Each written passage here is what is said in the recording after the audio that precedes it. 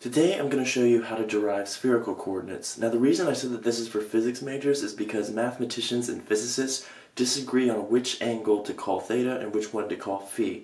So in order to avoid that confusion, we're just going to use the physics convention. Now if you have the Griffiths E&M textbook, you can always just look in the back of the book and see what the conversion from Cartesian to spherical is, but it's nice to be able to derive it for yourself. So let's say that we have some vector v that we're expressing in terms of x, y, and z.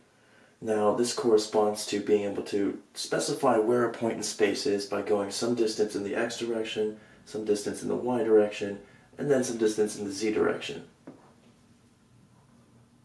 A superposition of those vectors will give you the location of that point in space. Now that's nothing new, but there's another way of expressing this, in which case we can talk about the magnitude of the distance between the point and the origin that we call r.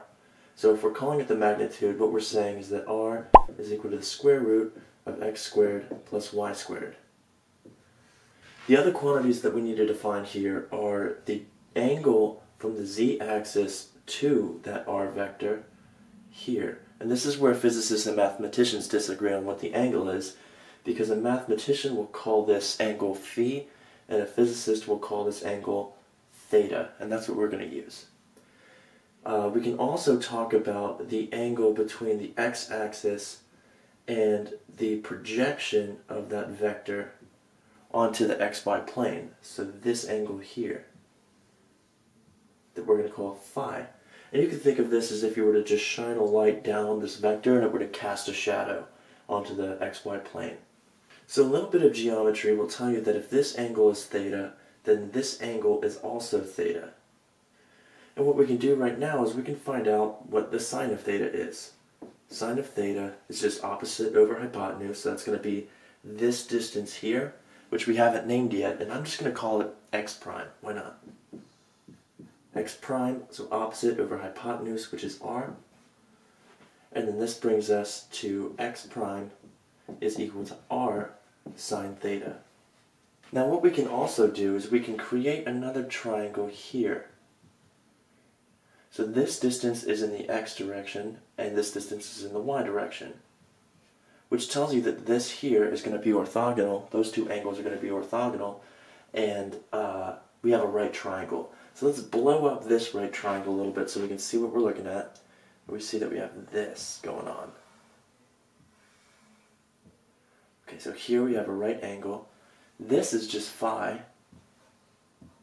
We have x here, and we have y here, and we just found out what this piece of the triangle was. It was r sine theta.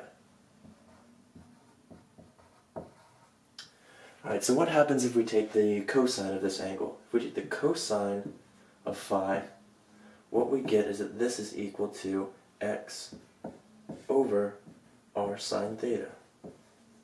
Multiplying both sides by r sine theta gives us that x is equal to r sine theta cosine phi. And that's the first conversion from Cartesian to spherical coordinates. The next thing we can do is also in this triangle, and we can just find out what the sine of phi is. If we do that, we see that sine of phi is equal to y over r sine theta. Little algebra gives lets us know that y is equal to r sine theta sine phi. There's number two. The last component that we're going to find is actually the easiest one to solve for, the z component.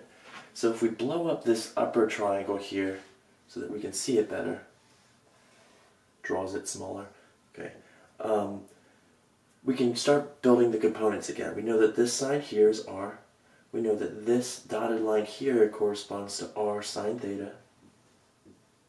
This is theta. And this z direction here is purely in the z direction, so we're going to call that z. And what we can do is we can find out what the cosine of this theta is. We find that cosine theta is equal to adjacent over hypotenuse, so z over r. And we get that z is equal to r cosine theta. And there we have the three equations converting from Cartesian to spherical coordinates. I hope you guys found this helpful. Let me know in the comments section if you did, and I'll see you there.